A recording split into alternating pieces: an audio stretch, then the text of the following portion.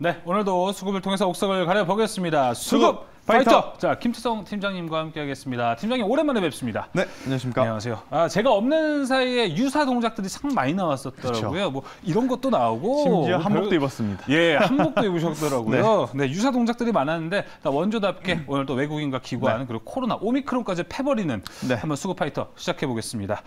자, 오늘 1라운드 들어가기 앞서 자, 먼저 외국인과 기관의 수급 현황은 어떤지 살펴보겠습니다. 자, 수급 현황을 보면은 어, 장 시작, 장 초반과 후반부 조금 뭔가 바뀌는 느낌이 듭니다. 장 초반은 외국인이 좀 이끌어 갔었는데 그렇죠. 어, 후반부로 갈수록 기관의 매수세가 조금 더 많아지고 있습니다. 그 속에서 어, 오늘 외국인이 가장 많이 사는 종목은 바로 SK 하이닉스고 기관에서는 이해질세라 삼성전자를 가장 많이 사고 있습니다. 아, 그리고 외국인은 또 대원전선, 휴센텍, 대신정보통신, PHC 등을 매수하고 있고요. 기관은 이 삼성전자 외에 SK 하이닉스 사고 있지만 네. 경기 방어주를 위주로 사고 있는 것도 오늘의 가장 큰 특징으로 볼 수 있겠습니다. 자, 오랜만에 수급 동향 한번 살펴봤습니다. 바로 수급 파이터 1라운드 들어가 봐야겠습니다. 1라운드 fight! 그리우셨죠? 네. 자, 대우건설과 CGN이 만났습니다. 어, 참 이 요즘 보면은 기대감으로 왔다 갔다 하는 종목들인데 그쵸. 대우건설은 그래도 좀 반등의 시도 반등을 좀 도전하고 음, 있습니다. 굉장히 말이 많은 두 섹터입니다. 맞아요. 건설주, 진단키트, 그죠? 건설 같은 경우에는 굉장히 좋은 모습을 보이려던 찰나에 어, 한 기업에서 이제 좀 불미스러운 일들이 좀 나타나면서 네. 어, 전체적으로 지금 침체되는 모습. 그리고 이제 시즌 같은 경우에는 코로나19가 이제는 2022년도에는 적어도 완화가 되지 않겠는가 이렇게 기대를 가졌는데 오미크론이라는 또 변이 바이러스가 나타나면서 오히려 또 확진자 수가 잡히지 않고 늘어나게 되는 네. 그러다 보니까 굉장히 지금 말이 많은 두 가지의 섹터인데 맞아요. 종목들도 지금 굉장히 또 어, 변동성을 많이 보이고 있어요. 근데 현재 위치에서 어떠한 섹터, 어떠한 종목을 트레이딩을 하는 것이 음. 네. 조금 더 유리할 것인가에 대한 그렇죠. 고민을 많은 분들이 하실 거예요. 맞습니다. 이미 뭐 가지고 계신 분들도 있겠지만 네. 설 연휴가 길었지 않습니까? 그러다 보니까 오늘 보시면서 음. 아 이걸 샀어야 했었는데, 아 이걸 샀어야 했었는데 고민을 좀 하시는 분들이 있을 것 같아서 두 종목을 한번 비교해 보도록 하겠습니다. 네, 진짜 개인 투자자들이 현재 고민을 할 법한 섹터의 종목들인 것 같습니다. 씨젠을 보면 아, 더 가려나 하면서 매수를 할까 그렇죠. 네, 고민하시는 분들이 있고요. 대우건설을 보면은 어 이제 어느 정도 가격이 빠진 상태에서 반등을 하는 모습이기에 그렇죠. 혹시 올라타도 될까 하는 생각이 좀 들 것 같은데 자 대우건설과 시즌의 대결입니다. 승자는 누가 될까요? 승자 열어주세요. 자, 오늘, 어, 승자는 대우건설에 손을 들어줬습니다. 네. 아무래도 이 좀 퍼진 불은 소화가 됐을까요? 뭐 이제 그렇게도 봐야 될 것 같고 음. 우선 시즌은 한 박자를 놓쳤다라는 표현이 맞을 것 같아요. 그렇죠. 네, 좀 엇박자죠 지금은. 만약에 매수를 했어야 됐다면 지난주에 이 오늘 이제 올라갈 것을 좀 염두를 해두고 매수를 했어야지만 좋은 결과를 좀 볼 수 있지 않았을까. 오늘 이제 움직이고 나서 추격 매수를 한다면 굉장히 또 부담스러울 수밖에 없는 상황. 뭐 씨젠뿐만 아니고 다수의 이제 진단 키트 관련 종목들이 지금 현재 굉장히 좋은 모습을 보이고 있는데 여기서 더 못 간다라는 이야기보다는요. 지금 현재 구간에서 트레이딩을 해서 수익을 보기가 굉장히 어렵다라는 것을 좀 염두를 해봤을 때 저는 대우건설 쪽이 조금은 더 낫지 않을까 라는 생각을 조심스럽게 합니다. 일단 네. HDC 현대산업개발이 굉장히 좋지 못한 일이 일어나면서 여전히 지금 주가가 회복하지 못하고 있고 또 이제 그 이후에 DL이앤씨에서 어, 만들었던 아크로 포레스트 건물에서 또 진동인 이슈가 또 나타나면서 DL이앤씨도 한번 주가가 출렁이기도 했었고 그렇지만 다른 그 건설주들 같은 경우에는 섹터에 이제 같이 포함되어 있다 보니까 조정을 같이 받았어요. 하지만 지금 반등이 나오면 나오면서 굉장히 또 빠르게 종목별로 지금 이 차별화가 나타나고 있고 특히 대우건설 같은 경우에는 굉장히 지금 빠르게 회복을 하고 있다라는 점을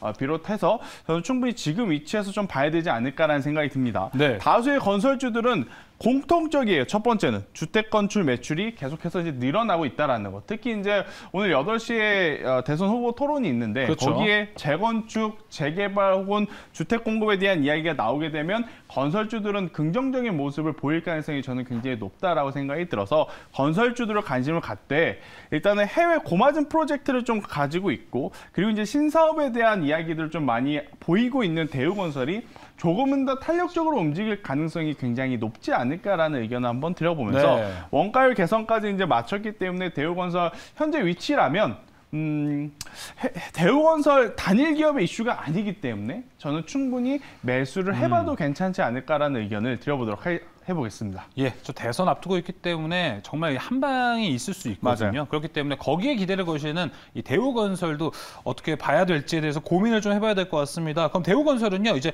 가격 전략이 더 중요할 것 같아요. 가격 그렇죠. 전략도 어떻게 봐야 될지 차트를 통해서 살펴보겠습니다. 네, 일단 뭐 건설주들 같은 경우에는 지수가 좀 밀렸을 때 같이 밀리긴 했습니다. 네. 하지만 대우건설은 그래도 최근에 좀 견고한 모습을 보이면서 이 5천 원 이하 가격대에 빠지지 않는 좀 모습을 보이면서 여기서 이제 이 저항, 그러니까 지지 구간을 좀 그렇죠. 뭐 받고 올라오는 상황인 거죠. 그리고 이제 오늘 만약에 추가적인 상승을 해서 6천 원이라는 가격대가 돌파를 해서 올라가게 된다라고 한다면요. 저는 충분히 전국전 박스권 상단이 6,500원을 넘어서 7천 원까지도 어, 음. 상승 가능할 수 있다라는 의견 한번 드려보도록 하겠고 네. 대신에 이제 조정이 나와서 밀리게 된다면 최근에 이 5천 원 가격대를 안 깨지 않았습니까? 네. 근데 여기가 만약에 깨지게 되면 잠시 깊게 조정이 나오거나 굉장히 또 오랜 기간 걸릴 가능성이 높기 때문에 5천 원이라는 가격대를 손절가를 제시 드려 보면서 네. 일단 대우건설 같은 경우에는 사실 이제 큰 시세가 날 만한 요소들이 많죠. 대선 토론회 이후 그리고 음. 실적에 대한 기대감 또 이제 해외 신사업에 대한 어, 기대 그렇기 때문에 한번 우리가 현재 위치에서 한번 공략해보자라는 의견 드리도록 하겠습니다. 네, 그러면서 매수 타이밍을 잡을 때는 아무래도 밴딩을 5,000원과 6,000원 사이로 좀 잡을 필요가 있고 어, 오히려 그쵸. 6,000원 돌파 여부가 더 중요할까요? 일단 저는 차라리 너무 고민하면 못 살 것 같아요. 맞아요. 그래서 그냥 지금 가격에서 네. 관심 있으신 분들은 트레이딩을 해보시는 게 가장 좋지 않을까라는 의견 드리도록 하겠습니다. 알겠습니다. 어, 우선적으로 대우, 어, 대우건설은요 목표가 7,000원까지 바라보면서 일단 1라운드를 마치겠습니다. 자 이제 2라운드로 들어가 보겠습니다. 제가 오랜만에 이 수급 파이터에 정장을 네. 입고 나오다 보니까 그러네요. 해설과 이 캐스터가 나온 어, 파이터의 그 느낌이 좀 나고 있습니다. 자 2라운드 이제 들어가 보겠습니다. 2라운드 fight! 아, 2라운드는 이녹스첨단소재와 하나마이크론이 만났습니다. 네. 아, 뭔가 이 반도체 이 패키지에서 방구 좀 끼는 그렇죠. 예, 두 종목이 만났습니다. 네, 기술주들의 이제 네. 싸움이 아닐까라는 생각이 음. 들어요. 일단 우리나라가 설 연휴 딱 들어갔을 때 월화수 미국 시장이 굉장히 좋았습니다. 그리고 미국 시장에 어, 이 강함을 이끌었었던 것이 사실은 뭐 넷플릭스 혹은 알파벳 이러한 기업들이지만 또 그 뒤를 받쳐줬던 게 반도체 기술주들의 반등력이었다라고 좀 보시면 될 것 같아요. 네. 특히 애플 같은 경우에 굉장히 좋은 호실적을 냈고 또 이제 반도체에서 보면 이 퀄컴이라는 기업은 전고점을 돌파하기 직전까지 다시 한번 올라가는 기업을 토해줬고 그렇기 때문에 여전히 글로벌 시장에서 금리 인상에 대한 이슈가 나오면 가장 먼저 피해를 보는 쪽이 이 종목들이 포함되어 있는 기술 주이나 여전히 조정을 받을 때마다 기관과 외국인들이 매수를 하고 있는 종목군들이기 때문에 네.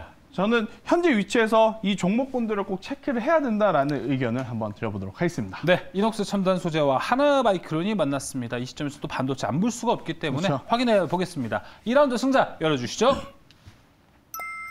하나 마이크론입니다. 아, 오미크론도 아닌 하나 마이크론 때려 잡아야죠 네. 이제. 네, 하나 마이크론입니다.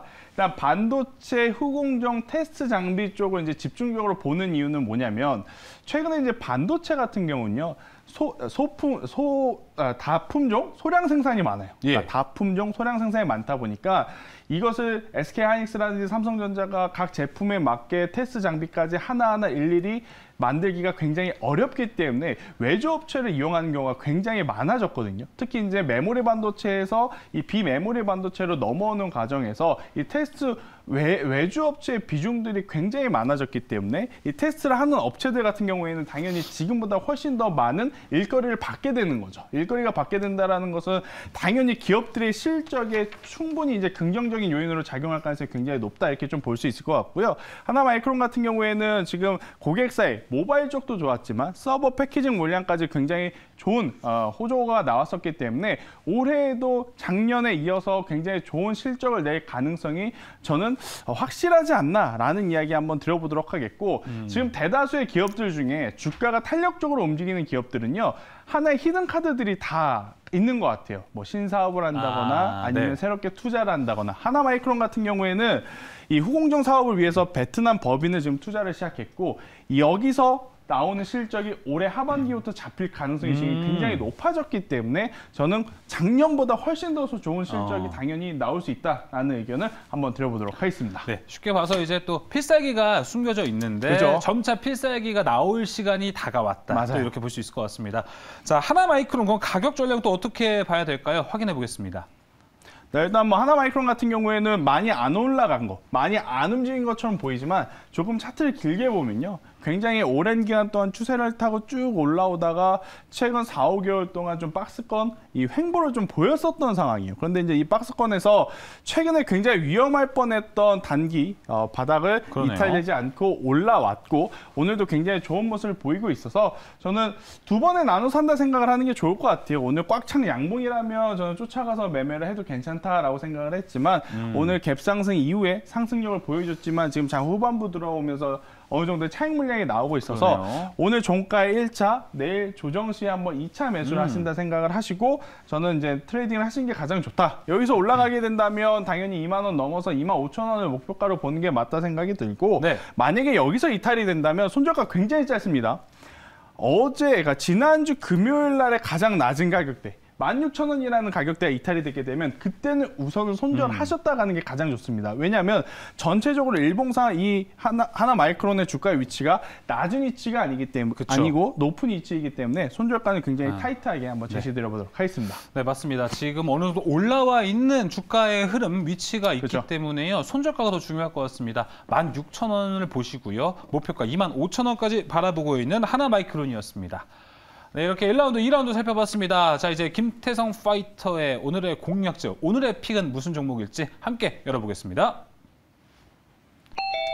오늘은 두산중공업 어, 인데요. 네. 아까 뭔가 이제 또 대선 얘기를 해주셨는데 그렇죠. 비슷한 흐름으로 봐도 될까요? 일단 많은 이 이목이 집중되어 있는 음. 오늘 이제 토론회에서 과연 어떠한 이야기들이 많이 나올 것인가 또 어떠한 정책들을 그렇죠. 가지고 서로 토론을 할 것인가 굉장히 지금 설왕설래가 많이 되고 있는데 일단 큰 골자로 보게 되면 결국에는 앞서 말씀드렸던 부동산 쪽이 저는 나올 가능성이 높다 음. 생각이 들고 두 번째는 에너지 정책에 대한 이야기들이 당연히 나오지 않을까라고 이제 조심스럽게 좀 이야기를 한번 드려보도록 하, 하겠습니다. 여기에 뭐 일자리도 나올 수 있을 것 같고 최저임금, 저출산 이런 것도 나올 수는 있겠습니다만 최근에 12월 달 그리고 1월 달에 움직였던 테마군들 중에 가장 좀 강하게 움직였었던 게 지금 이 원전 관련주가 아니었나라는 생각이 들어요. 단순히 정책과 맞물린다 이것도 있지만 실질적으로 두산중공을 포함한 지금 원전주들이 이 주가가 상승하는 이유는요. 눈에 보이는 성과를 내고 있기 때문에 해외에서는 원전 에너지 자체를 친환경 에너지로 지금 어, 규정을 지었고 그리고 우리나라 기업들이 계속해서 수출을 하고 있고 계약을 음. 체결하고 있다라는 점에 저는 포커스를 맞춰야 된다 생각이 들어서 네. 아무리 테마주라도 근본이 있어야 된다라고 생각이 듭니다. 근본. 그렇죠. 아, 네. 두산중공업 같은 경우에는 확실한 기술력 그리고 지금 눈에 보이는 계약을 체결을 하고 있기 때문에 저는 충분히 현재 위치에서 공략해도 괜찮지 않나라는 의견 어. 드리도록 하겠습니다. 네, 아, 테마도 테마지만 근본이 중요하다. 아주 중요한 말인 것 같습니다. 자, 이제 두산중공업이 오늘의 픽인데요. 두산중공업 작년 이맘때 이제 뭔가 두술라의 향기가 나기 시작한 게 이맘때예요. 거의 3월부터 맞아요. 움직이기 시작했는데 또 좀 기대가 될 것 같습니다. 가격 네. 전략 어떻게 보시나요? 일단 오늘 쉬고 있기 때문에 부담 없이 한번 체크를 해볼 수 있지 않나라는 생각이 들어요. 설령 오늘 저녁에 원전에 대한 이야기가 나오지 않는다 하더라도 실망하실 필요는 저는 없다 생각이 네. 들고요. 일단 오늘 종가에 매수를 하신 분들 같은 경우에는 목표가는 저는 2만 원 이상 높게 잡아보는 거. 단기적으로는 제가 2만 원 드리지만 2만 원이 돌파하게 되면 2만 5천 원까지 한번 잡아보시는 게 가장 좋다 생각이 들고요. 네. 손절 가격은요 굉장히 짧습니다. 네, 손절 가격도 왜냐하면 아무리 이제 좋은 종목이다 할지라도 테마적으로 움직이는 종목이기 때문에 일단은 17,000원이라는 가격대가 이탈이 되게 되면 그때는 손절을 하셨다가 음. 나중에 다시 진입을 하시는 것도 네. 좋지 않을까라는 의견 드리도록 하겠습니다. 네, 두산중공업은 나중에 한 번 더 얘기를 한번 네, 해주셔도 곧 좋을 것. 같습니다. 네, 두산중공업 우선은 손절가 17,000원이고요. 목표가 2만 원 돌파 여부가 먼저 중요하고 그 후에도 2만 5천 원 선도 한번 바라볼 수 있을 것 같습니다. 자 이렇게 오늘 오랜만에 수급파이터 세 가지 종목 함께 확인해 네. 봤습니다. 오늘 준비한 소식은 여기까지입니다. 오늘 말씀 감사합니다.